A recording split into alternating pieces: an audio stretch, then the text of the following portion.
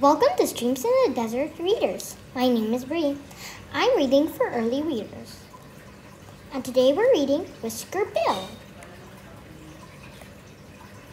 Whisker Bill lives in a hut by the waves. Whisker Bill likes to whistle in the wind. He likes he whistles while he makes a whale. He whistles when the sun shines. The wind whips and the si- at the side of the hut.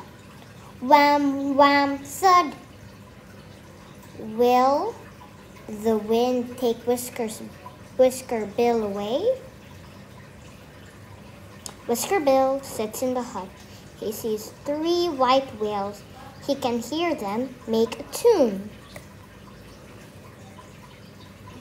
Where will I, the white whales go? When Whisker Bill sees them again,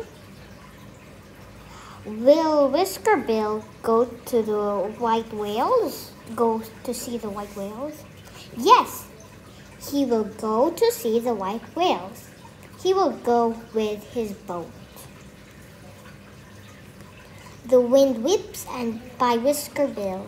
It takes him to where the white whales live. Will Whisker Bill go home? Yes, Whisker Bill will go home. He will not see the white whales again, but he will whistle their tune. Thank you for reading job. with me, Streams in the Desert Readers. Wasn't this such a fun story? Bye!